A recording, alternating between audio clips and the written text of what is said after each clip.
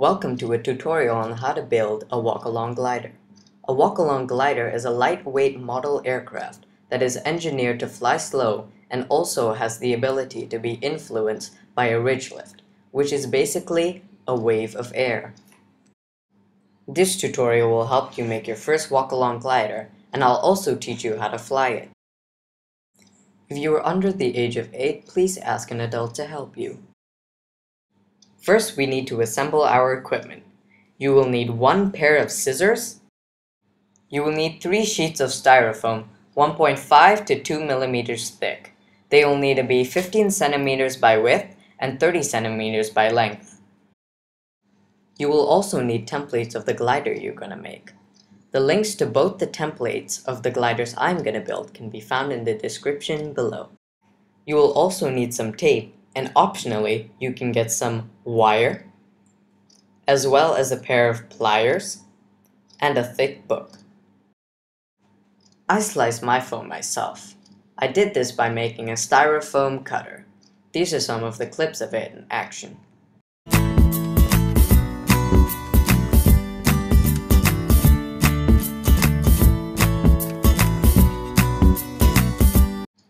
If you have difficulty with opening the links, then you can always follow this tutorial and how to find them yourself. First open your web browser. Type in Science Toy Maker. Click on the first link. Scroll down till you say air surfing with very thin foam. Click on mosquito pattern or mama bug pattern and this should open and then you can print it from there directly. The first glider we're going to make is called the mosquito glider. Take your scissors and roughly cut around the first glider. Remember not to cut too close to the lines because this will help us later on.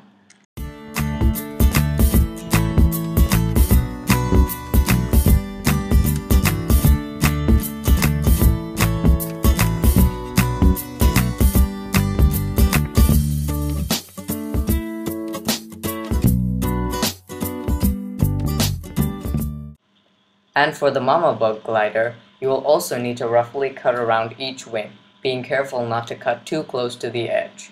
Unfortunately for this template, you will only be able to make one glider instead of two.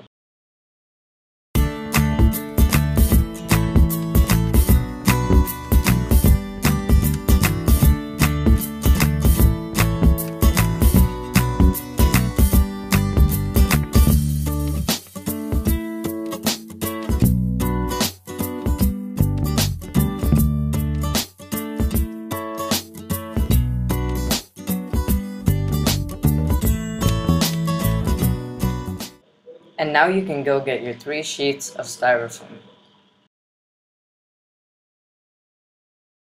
Take your mosquito glider template and rip two small pieces of tape and put one either side of the glider, as shown in the video. After you have done this, stick your template on the sheet of foam, but remember not to bend the tape around the foam. Then take your scissors and cut exactly around the template. Remember to cut as close to the lines as possible, as the more precise your cutting is, the better your glider will fly. Remember to cut around the pieces of tape and not through them, as we will need them later on.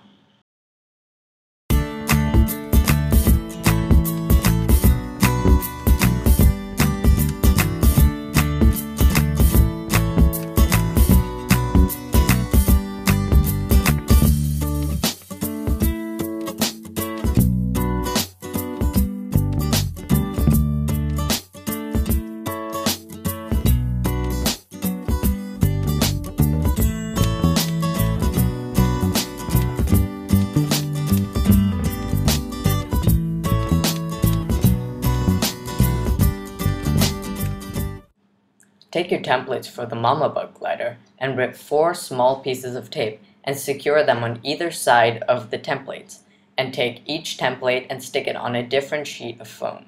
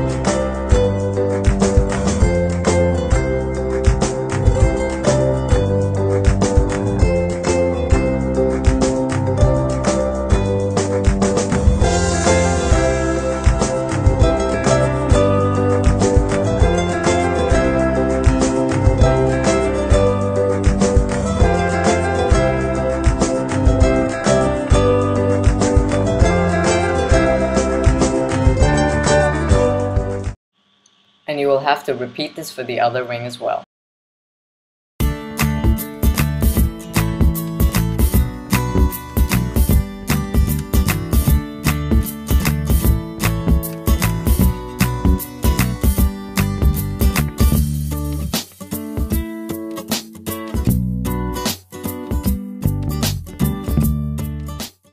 We will now make the folds of the glider.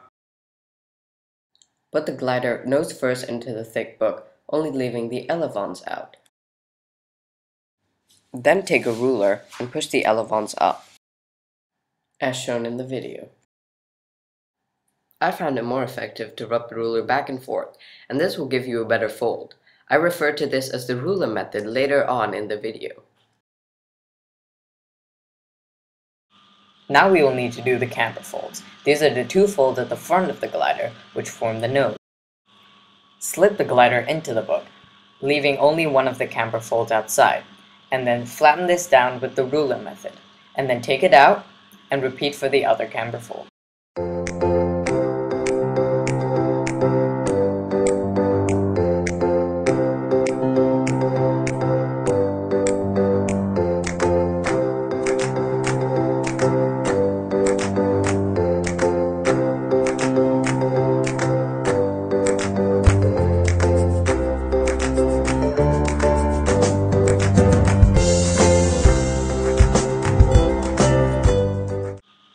Last fold we need to do is called a dihedral. This fold goes right through the middle of the glider, and when folded gives the glider its slight V shape. After slipping half the glider into the thick book, take your ruler and push the wing upward. After taking your glider out the book, reinforce all the folds by bending along the creases with your hands.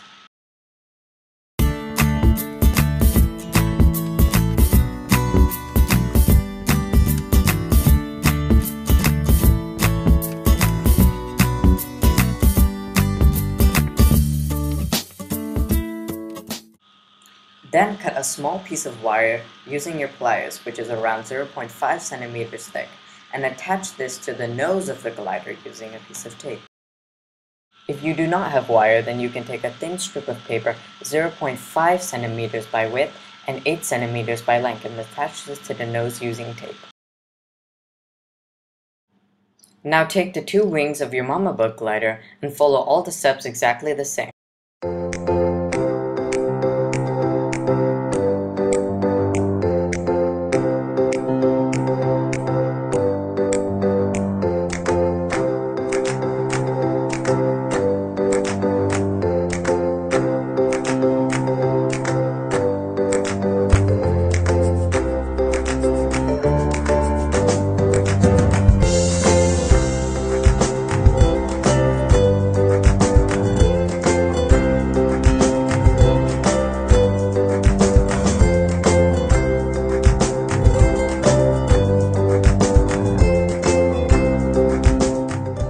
Form the dihedral in the Mama Bug glider is a bit harder. Take the two wings and put one piece of tape in the middle, and take another piece of smaller tape and put it at the front of the glider.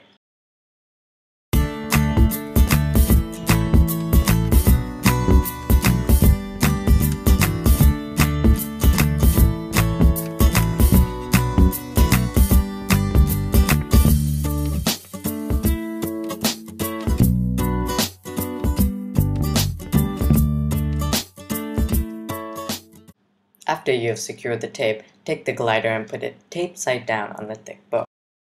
One of the wings should be tilted down. Put a piece of tape on the middle of the top wing and then slowly press it down on the bottom wing. This will form the dihedral of the glider.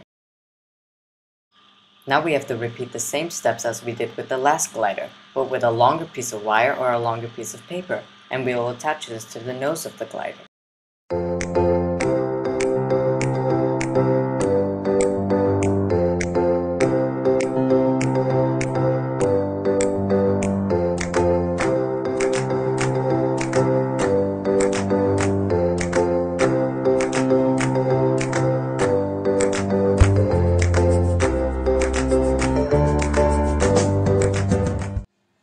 First flight might look something like this. If the glider stalls, that means it needs more weight at the front, and if the glider dives, that means it needs less weight at the front. Keep in mind this video is slowed down. If the glider keeps going to the left, you need to bend up the right elevon, and if the glider keeps going to the right, you need to bend up the left elevon. Here's a clip of me flying the Mama Bug glider. To start to fly, you're going to need a cardboard box or a sheet of poster board like I have. Keep the board under the glider as shown in the video. The first few times you start to fly will be quite hard, but as you practice it will get easier. To turn in a certain direction, just tilt the board the direction you want to go, but always remember to keep the board under the glider at all times. Thank you so much for watching guys. I would be really grateful if you guys could do the survey I made. The link is in the description below.